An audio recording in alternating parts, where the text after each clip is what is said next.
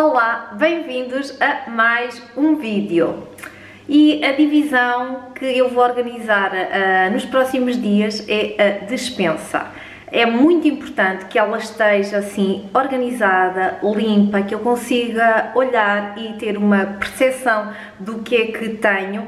Isso é bastante importante quando vou adquirir novos produtos uh, no supermercado. Isto parece que estou a falar assim de uma coisa. Ah, de um provisionamento assim muito excepcional, mas não, são só as compras normais que se fazem no supermercado. Mas eu acho que tendo noção do que é que temos, é muito mais fácil de comprar assim assertivamente e aquilo que realmente precisamos. Vou aproveitar os bocadinhos que vou tendo esta semana e estou na hora de almoço, vou começar já.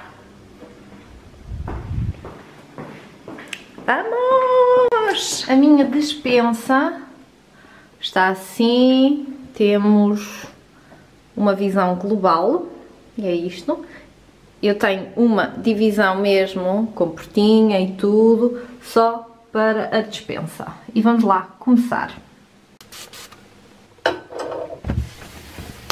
Azeite, para mim, o que eu mais gosto para temperar as saladas é o Oliveira da Serra. Tem uh, a tampinha pop-up, eu acho que é muito prático e evita que se ponha demasiado azeite, que eu não gosto nada de estar a comer a salada assim, ai, com tanto azeite, a sério que me faz muita confusão.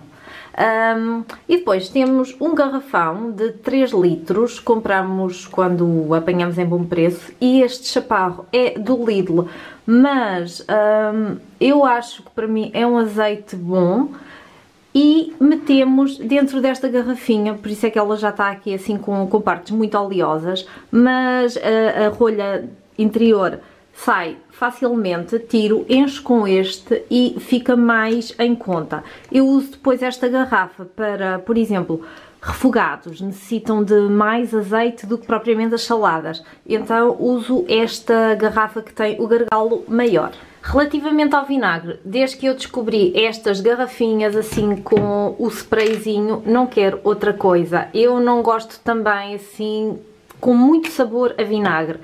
Prefiro com vinagre, uh, mas sem ser assim uma coisa muito carregada, portanto acho que são perfeitas. E o vinagre que eu uso é sempre vinagre de cidra, isto já há muitos anos. Então às vezes compro destas, mas encho este doseador, sprayzador, qualquer coisa assim. E uma das coisas que eu faço é, as coisas que têm uma validade mais comprida, eu ponho para trás e deixo sempre à frente o que tem a validade mais curta. E já vi que na minha ausência o Pedro se foi abastecer e fez boas escolhas porque optou por uh, integrais.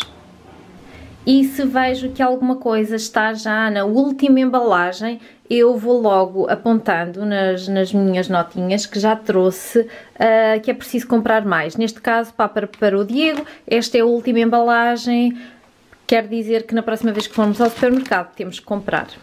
Relativamente às batatas, eu tenho oportunidade de comprar sacos de 10 kg, 20 kg.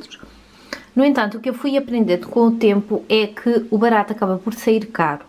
Um, elas, como são uma quantidade grande, grelam muito e uh, ficam verdes, o que acaba por haver mais desperdício depois das batatas que eu meto para o lixo porque já não estão em condições do que propriamente se eu for comprando à medida que vou necessitando. E nesta prateleira de cima eu tenho um saquinho de doces que ainda são do Halloween e só deixei as gomas e as pintarolas. Sinceramente, tudo o que era reboçados, chupa-chupas, foi para o lixo.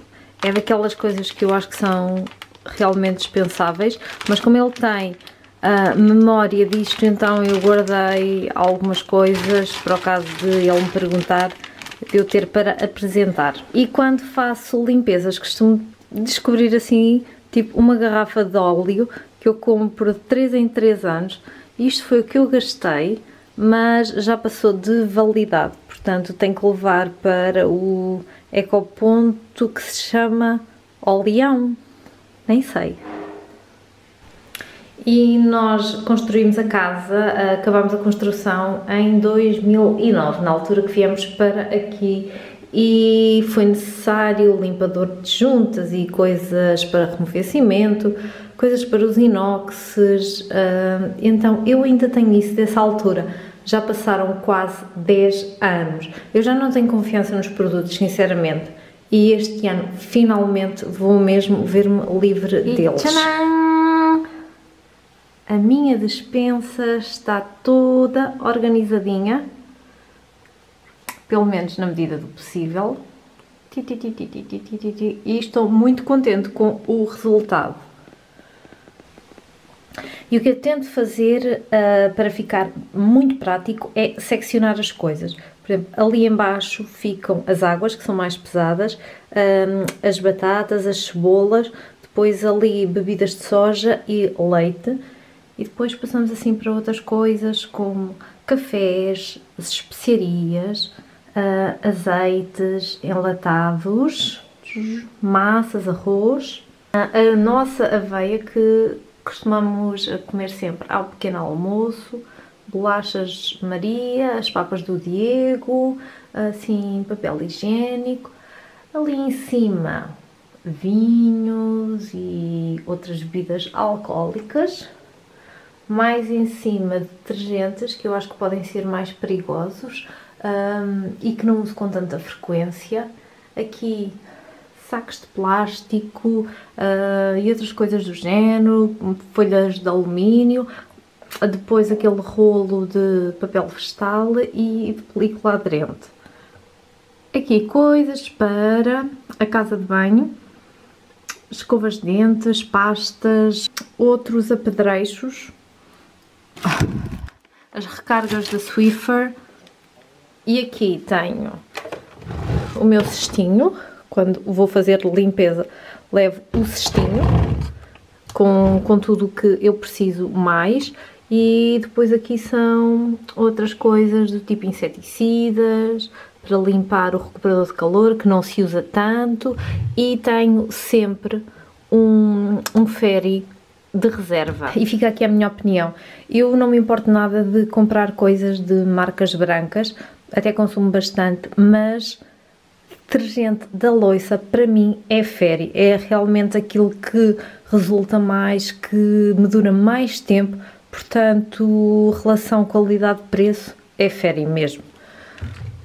Depois, em relação a outras coisas, eu não me importo de usar, por exemplo, estes do Lidl, que são bastante bons, ok, mas detergente féri.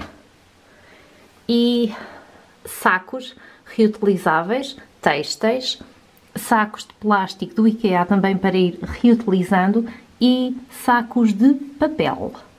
E a razão pela qual eu resolvi fazer a limpeza e organização à dispensa é que uh, no sábado eu estava a tentar começar um vídeo sobre compras de supermercado e fui à dispensa e não me consegui orientar de todo estava a bagunça completa e não sabia o que é que tinha, se andava por ali qualquer coisa escondido.